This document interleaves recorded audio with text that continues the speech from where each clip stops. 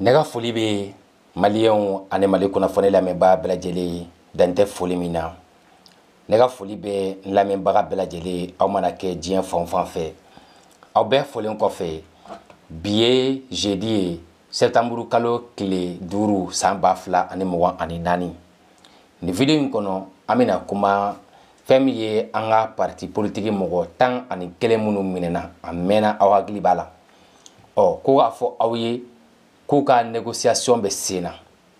parti politique ninnu u ka négociation daminɛna walasa u bɛ se ka bila cogoya min na u ka t'u ka famille la kuma caman fɔra n bɛ fɛ ka mun da aw tulo kan parti politique ninnu ka ko la n b'a ɲini aw bɛɛ lajɛlen fɛ a ka video suivi fo ka taa se a dan na pour que kunnafoni minnu b'a kɔnɔ aw bɛ se ka b'olu bɛɛ lajɛlen kalama cogo min na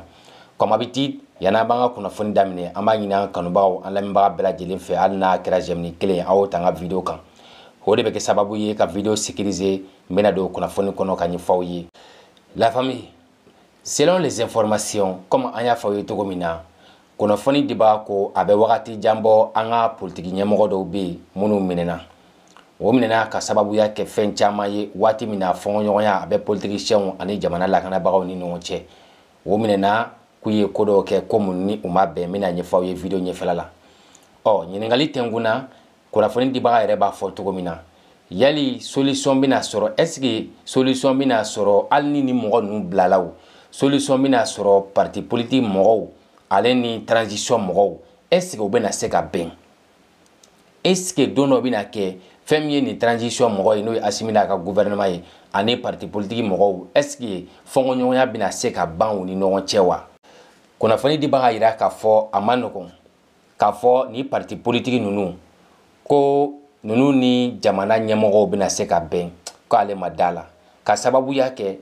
hakilina min bɛ jamana ɲɛmɔgɔ la ani hakilina min bɛ nin parti politiki mɔgɔ ninnu na ko hakilina kelen tɛ parti politiki mɔgɔ ninnu ka hakilina o de ye fanga bɛ se ka jɔ cogo min na o de ye asimi bɛ se ka bɔ fanga la an ka taa election na parti politiki dɔw ka sigi fanga la an ka continuer an ka baara fɛ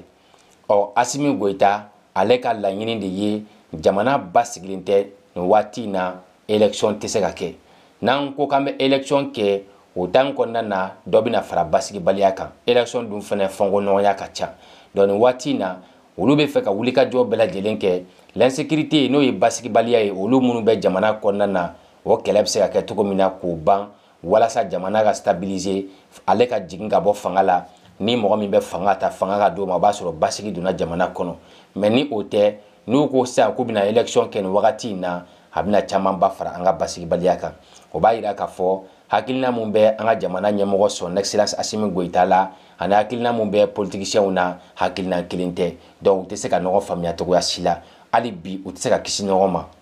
n'o bɔra yen kunnafoni dibaga ye mun de fɔ kunnafoni dibaga ko mais une chose est sûre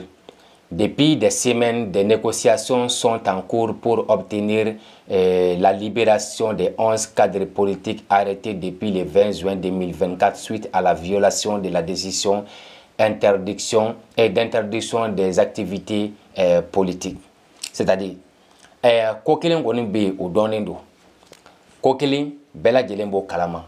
a bɛ wagati jan bɔ a bɛ kunɲɔgɔn eh, caman bɔ fɛn min ye eh, négociation ye deliliw o bɛ ka kɛ parti politique mɔgɔw fɛ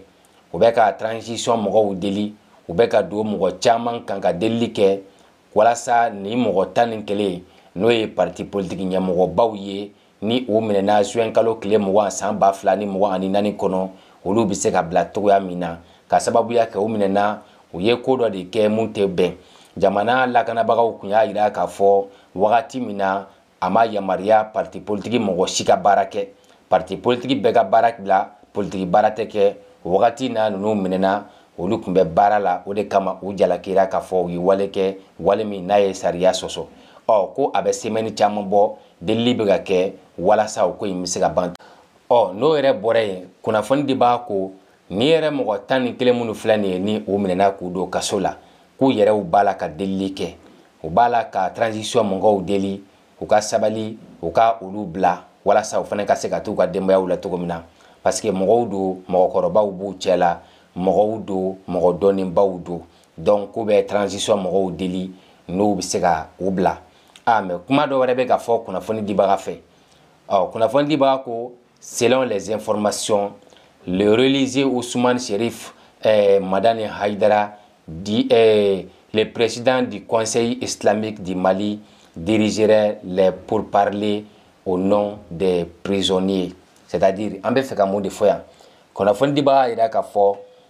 ɛɛ delili caman filɛ bɛɛ lajɛlen b'a dɔn k'a fɔ mali kɔnɔ ni delili fanga bonyana dɔrɔn ni dɛsɛ kɛra u b'a fɔ ko an ka taa an ka jamanakuntigi son excellence eh, excuse moi an ka eh, diinɛ ɲɛmɔgɔ eh, serif usumani madana hayidara mɔgɔ caman bɛ taa o ma i n'a fɔ a b'an ka hakili lajigin waati min na sanogo tun bɛ fanga la tolerance zero mɔgɔ min kɛra sababu ye ka delili kɛ ka eh, jamana ɲɛmɔgɔ deli ka sanogo deli walasa mɔgɔ minɛlenw bɛɛ bila sanogo tun ye parti politiki mɔgɔ caman minɛ a tun ye jamana mɔgɔba caman minɛ mɛ e, serif usumani madana idara n'o ye o conseil ɲɛmɔgɔ ye ani ansardin ɲɛmɔgɔ ale de taara delili kɛ u ka ban ɔ sisan ko nin koɲɛ in fana bɛ fɛ ka ta ka di ale ma fɛn min ye e, mɔgɔ minnu minɛlen ye ni ayidara bɛ se ka transition mɔgɔw deli son excellence asimi goyita ɔ n'a bɛ se ka olu deli ɔ walasa ninnu ka se ka bila cogo min na ko o bɛ ɲɛ kosɛbɛ kosɛbɛ dɔw y'a yira k'a fɔ o tɛ a banni ye u bɛna mɔgɔ dɔ bila u ka delili kɛ n'o ye parti politiki mɔgɔw yɛrɛ ka kuma ye ko u bɛna don transition mɔgɔ dɔ kan ka delili kɛ o ye jɔn ye o de ye an ka eh, comment dirais minisiri dɔ ye mun bɛ wele ko le ministre de eh, l'administration territoriale eh, le colonel abdoulaye mayiga bɛɛ lajɛlen bɛ ale dɔn donc k'u bɛ fɛ ka ale bila ka delili kɛ vraiment ko u seginn'u kɔ u ka sabali k'u ka mɔgɔ ninnu bila selon les informations parti politiki mɔgɔ ninnu u y'a yira k'a fɔ u ye parti politiki mɔgɔ caman wele plus précisément parti politiki caman minnu minɛna mɔgɔ tan ni kelen minnu minɛna nin ye a bɛɛ parti politiki ɲɛmɔgɔ ɲɛmɔgɔw de ye donc y'u ka partiw wele wele u ka na u ka fara ɲɔgɔn kan u ka jɛ u ka négociation kɛ ɔ mɔgɔ caman ye jaabi kɛ mɔgɔ dɔw fana bɛ yen olu ma jaabi di fɔlɔ nin ko in na mɔgɔ dɔw ye jaabi kɛ mɔgɔ dɔw bɛ yen minnu ma jaabi di fɔlɔ nin ko in na sinɔn u y'a yira u la k'a fɔ u ka sabali u kana u ka négociation kɛ walasa nin mɔgɔ tan ni kelen ka bila parti politiki fɛn o fɛn ni i ka leader b'a la ani parti politiki fɛn fɛn bɛ yen n'i ka leader t'a la u ye welewele bila bɛɛ ma dɔw ye nali jaabi mais dɔw y'a confirmer olu ma fɛn fɔ fɔlɔ olu y'i da de n'o tɛmɛna ka bɔ yen kunnafoni dibaga y'a jira k'a fɔ parti politiki minnu filɛ nin ye ni a caman bɔra ka problème sɔrɔ nin de ye mɔgɔ ye seliba ɲɛkɔrɔla la mɔgɔ minnu wulila k'a fɔ le 31 mars 2024 k'a fɔ fɛn min ye son excellence asimi goyita yɛrɛ ye ale tun ye manda min fɔ o dati banna a ka kan a ka wuli ka bɔ fanga la a ka fanga di mɔgɔw ma mun ye parti politiki mɔgɔw ye fɛn min ye jamana otorite mɔgɔw ye u y'a refize u y'a yira k'a fɔ nin yɔrɔ la jamana tɛ ta ka di mɔgɔ si ma ka sababuya kɛ basigibaliya ye ɔ mɔgɔ minnu y'a forse ka mɔgɔw la ankurase k'u fara ɲɔgɔn kan a ka sɔrɔ a fɔra ko yamaruya fana tɛ yen k'a mɔgɔ fara ɲɔgɔn kan parti politiki mɔgɔ bɛɛ lajɛlen ka baara dabila u y'u ɲɛ kumu ka mɔgɔw fara ɲɔgɔn kan jagoyanifin na k'a fɔ mɔgɔw ma ko u kana y'a ye k'u kana parti politique bɛɛ kana u kana u ka jɛ ka nin kɛlɛ in kɛ walasa simi bɛ se ka bɔ fanga la cogo min na ko conséquence in bɛɛ lajɛlen wulili daminɛna yen de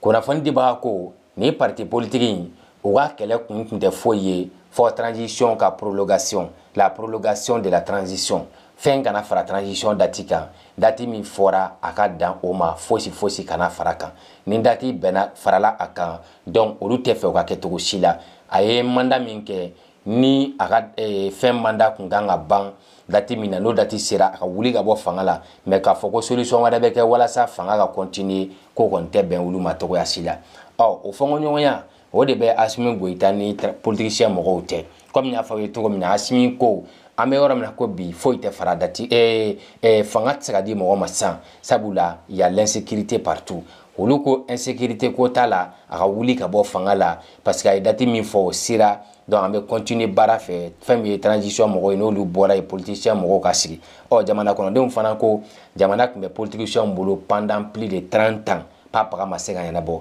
donc olu bɛ taa asimi ka kote la ka tɛmɛ politicienw kan donc politicienw jamana kɔnɔdenw t'u fɛ eh, transition mɔgɔw t'u fɛ jamana kɔnɔdenw bɛ transition mɔgɔw de fɛ mɛ jamana kɔnɔdenw tɛ olu fɛ mɛ olu mago fana bɛ min na olu tɛ asimi de fɛ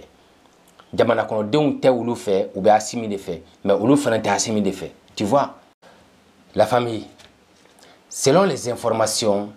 n'o tɛmɛna ka bɔ yen kunnafoni dibaga ko parmi ces partis Il y a l'ADEMA et RPM qui font partie des poids lourds de la scène euh, politique. Au kɔrɔ n'i ye nin parti politique ninnu ta k'a lajɛ parti politique belebeleba fila bɛ a la i n'a fɔ ADEMA ale ni eh, RPM olu de ye parti politique nin yɛrɛ la parti politique ba ye mɔgɔw bɛ minnu dɔn fanga bɛ minnu na kosɛbɛ kosɛbɛ o y'o parti politique fila de ye sisan ɔ o hukumu kɔnɔna na kunnafoni de b'a ko n'i y'a ta k'a lajɛ o parti politikiba fila in ni o ye adema ye ale ni rpm ko olu de ye parti politiki ye minnu mɔgɔ fana arɛtelen don adema mɔgɔ dɔ arɛtelen don rpm mɔgɔ dɔ arɛtelen don ko olu fana parti politikiba ninnu yɛrɛ ɲɛmɔgɔw delila ka jamana in mara ka tɛmɛ ya adamama ɲɛmɔgɔ de la ka jamana in mara repmu ɲɛmɔgɔ de la ka jamana in mara pati politigi min don pati politigi den tɛ bɔn ko o ɲɛmɔgɔ dɔw de minɛlen filɛ kulu don kaso la n'o tɛmɛna ka bɔ yen kunnafoni de b'a ko n'i y'a ta k'a lajɛ ɛɛ ni mɔgɔ ninnu o n teriripela sadi u welela k'a sɔrɔ u bɛ ɲɔgɔn ye pirive dɔ de la du dɔ kɔnɔ ni o du yɛrɛ kɔnɔmɔgɔ tun ye u ka jɛkulu mɔgɔ dɔ ye i n'a fɔ o tun bɛ ka eriniɲɔgɔn kɛ mɔgɔ min fana fɛ yen o fana ye pariti politiki ɲɛmɔgɔ ye o fana ye u ka jɛkulu mɔgɔ ye o tun bɛ eriniɲɔgɔn pirive la mɔgɔ kun t'a dɔn réunion in kun baselen bɛ fɛn min kan donc u taara interpeller ka yira k'a fɔ aw bɛ ka fɛn dɔ kɛ an tɛ fɛn min si dɔn yamaruya ma di aw ma aw ka jɛ aw ka ɲɔgɔn ye aw parti politique damaw an dun nana sɔrɔ aw jamakulu jɛlen bɛ ka ɲɔgɔn ye n'i y'a ye aw bɛ ka ɲɔgɔn ye ɲuman ta kɔnɔna na jamana ma daw la n'o tɛmɛna ka bɔ yen selon les informations kunnafoni dibaga ko fɛn min ye nin parti politique mɔgɔw ye ko dɔw b'a la ka wajibiya ko ka mɔgɔ minɛlen ninnu bila mɛ fɛn min ye jamana otorite mɔgɔw ye u y'a refize ko delili bɛ ka kɛ fana a mɛnna jaabi ma sɔrɔ delili in na fɔlɔ ko delili ma daminɛ bi dɛ a mɛnna u bɛ dugu ma u bɛ ka delili kɛ tiɲɛ yɛrɛ la u ka isaye k'aw ka mɔgɔw bila mɛ a ma ɲɛnabɔ ɔ ko dɔw bɛ ka kɛ force ye ka exige non non non a y'an ka mɔgɔ bila sans délai mɛ fɛn min ye otorite mɔgɔw ye u tɛ ka nin si de jaabi otorite mɔgɔw ko n'i y'a ye o minɛna u ma minɛ dɔwɛrɛ kama u ma minɛ juguya kama u ma minɛ foyi kama o minɛna de walasa basigi bɛ se ka don jamana kɔnɔ cogo min na ko bɛ ka wale kɛ wale min n'a bɛ kɛ sababu ye ka basigibaliya don jamana kɔnɔ ɔ jamana dun mago bɛ fɛn min na sisan o ni basigibaliya ka jan ɲɔgɔn na ni basigibaliya seginna kana fara eh, olu ka problème kɔrɔ kan a bɛna caya kojugu ɔ mɔgɔ minnu bɛ yen k'olu bɛ ka wuli contre la transition k'a fɔ k'u b'a essayer ka dɔ fara basigibaliya kan ɔ k'olu de ɲangi politigisiyɛn minnu minɛna a yirala k'a fɔ mɔgɔ tɔgɔtigibaw b'a la mɔgɔbaw b'a la minisiri kɔrɔw b'a la donc ko mɔgɔ ninnu kabako mɔgɔw b'a la mɔgɔw minɛna ko tiɲɛ yɛrɛ yɛrɛ la a bɛ fɔ cogo min na olu kan ka bila di mɛ nin bɛɛ ye kuma ye kunnafoni dibaga bɛ ka min fɔ ɔ jamana kɔnɔdenw dun y'a jira k'a fɔ cɛ ko politikisiyɛn ninnu kana bila dɛ mɔgɔ caman de bɛ ka jira k'a fɔ k'u man ka bila wa u ka desisiyɔn k'a kana lamɛn k'olu de kɛra sababu ye ka jamana in ci olu de kɛra sababu ye ka mali ɲagami mali bɛ olu bolo pendant plus de 30 ans u y'an ka jamana bɛɛ feere maintenant an ye mɔgɔ min sɔrɔ n'o bɛ se ka kɛ sababu ye ka basigi don an ka jamana kɔnɔ u bɛ ka wuli o contre la ko politiciens ninnu kana bila dɛ an dun ɲɛ b'a la négociation bɛ fan bɛɛ lajɛlen fɛ u y'a jira k'a fɔ mɔgɔ babababaw b'a la i n'a fɔ a dɔ ye eh, musa fa diko ye musa fa diko ko ye ministre ancien ministre vice président du parti adema y'a faamuya o ye musa fa diko ye eh, yaya sangare ale ye secrétaire général de adema la eh, mamadu tarawele ale ye président du parti union ye molayi haidara ale bɛ parti pds la sanba kulibali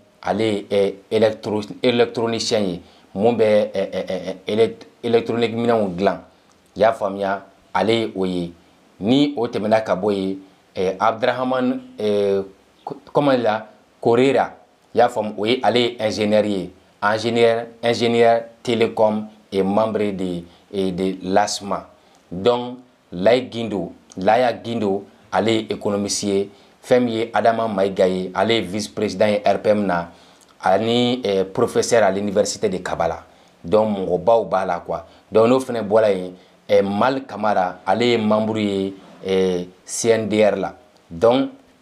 n'o tɛmɛna ka bɔ yen amadu tarawele k'ale fana ye mamuru ye c'est le membre de l'alternative pour le mali donc parti politiki mɔgɔ bababaw b'a la minnu minɛna vraiment ko ninnu de ye mɔgɔ ye nin wagati in na minnu bɛ an ka transition mɔgɔw bolo ni eh, u yɛrɛ bɛ ka delili kɛ u ka parti politiki mɔgɔ bɛ ka delili kɛ u ka esayi yɛrɛ de u k'u bila eh, mais k'a fɔra ko malgré que u jalakira k'a fɔ O minɛna à cause de quoi l'arrestation ont eu lieu dans un climat politique eh, tendu où les accusations de déstabilisation et de troubles à l'ordre public sont prises très au sérieux par les autorités wagati min na autorité mɔgɔw kun pɛrɛnnen don wagati min na autorité mɔgɔw kun diminen don k'a fɔ u ka sabali basigibaliya kana don jamana kɔnɔ wagati min na fɔnkɔɲɔgɔnya b'u ni politikisiyɛnw ni ɲɔgɔn cɛ kuma min yɛrɛ la ko nin tansiyɔn kɛra o wagati yɛrɛ de la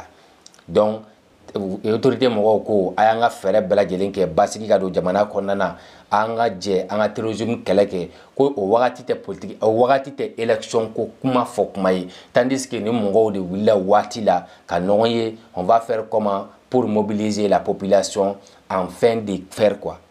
ka asimi goyita bɔ fanga la en fin de ka asimi goyita bɔ fanga la togoya min na donc ko autorité mɔgɔw kun y'o kɔn waati la o kun y'a ta seriye la ni mɔgɔ mɔgɔ ko k'i b'a kɔrɔbɔ u bɛ tasuma da i kan n'o bɔra yen fɛn min ye procureur ye commune 5 la ale fana kun y'a jira k'a fɔ eh, o wagati la ko eh, mɔgɔ minnu bɛ jamana destabilise a ko minɛlen don ba la kosɛbɛ kosɛbɛ jɛ tɛ kɛ ni a si ye maa si kelen ka wuli k'i bɛ basigibaliya don jamana kɔnɔna na ni mɔgɔ mɔgɔ b'a dɔn k'i bɛna ni wale ye wale min bɛ jamana destabilise mali kɔnɔ ani mali kɔ kan eh, mali eh, bamako kɔnɔ ani bamako kɔ kan excuse moi o tigilamɔgɔ n'i yera i bɛ ɲangi wa i bɛ ɲangi ɲangi cogo cɛjuguya donc o fana kun desisɔn n'o tɛmɛna ka bɔ yen kunnafoni dibaga y'a jira k'a fɔ ni parti politiki mɔgɔw fana eh, wale dɔ tun bɛ tun bɛ ka wale mun kɛ ko eh, transition mɔgɔ y'a fɔ waati min na ko politiki baara bɛɛ lajɛlen lajɔra u y'a yira k'a fɔ k'olu tɛ jɛn n'o ye cogoya si la ko politiki baara bɛɛ ma lajɔ dɛ ko politiki baara tɛ se ka lajɔ cogoya si la ko mɔgɔ caman tun bɛ nin mɔgɔw la minnu tun bɛ o ko in kɔnturu la u b'a fɔ k'olu tɛ jɛn n'a ye politiki baara ka lajɔ cogoya si la ko n'olu ka politiki baara jɔra k'olu bɛna mun de kɛ donc ko nin fana tun ye kuma ye kuma min tun b'u da kɔnɔ n'o tɛmɛna ka bɔ yen a yirala k'a fɔ fɛn min ye nin parti politiki mɔgɔ dɔw yɛrɛ ye dɔw y'a deside ka jamana de bila walasa u bɛ se ka fɛɛrɛ k'u da sago fɔ jamana transition yɛrɛ ma cogo min na ko dɔw bɛ jamana kɔ kan olu b'u sago bɛɛ lajɛlen fɔ jamana transition ma k'a sɔrɔ u yɛrɛ ka parti politiki yɛrɛ fana bɛ jamana kɔnɔna na donc nin de tun ye kunnafoni ye an ye kunnafoni min mɛn nin tun bɛ fɛ ka da aw bɛɛ lajɛlen tulo kan aw minnu bɛ an ka kunnafoni lamɛn donc n b'a ɲini aw bɛɛ lajɛlen fɛ aw kana ɲina hali n'a kɛra jɛmini kelen ye aw ta an ka video kan a bɛ kɛ sababu ye ka an bɛɛ an ka video sécuriser nin kunnafoni ni mɔgɔ min bɛ fɛ k'a lamɛn ka taa se a dan na n'i bɛ fɛ ka ne kunnafoni faamuya n b'a ɲini fɛ i ka taa maliwe point net sanfɛ n y'a kunnafoni bɛ yɔrɔ caman na mɛ pour que yɔrɔ ka surunya i la i b'a sɛbɛ maliwi pɔn net i bɛ na ni information sɔrɔ a bɛ se ka kɛ e bɛ fɛn dɔ faamuya la ne yɛrɛ tɛ min dɔn a la parce que kunnafonidi ye o de ye i bɛ yɔrɔ minnu faamuya i b'olu de ɲɛfɔ i tɛ min faamuya i b'i pan o kunna o le k'i ka nkalon tigɛ ɔ n'i yɛrɛ bɛ fɛ ka taa kalan i yɛrɛ ye walasa i k'a faamuya je t'encourage i ka taa yen nɔ mɔgɔ ka page sanfɛ a ka ca ala fɛ tu vas comprendre quelque chose one love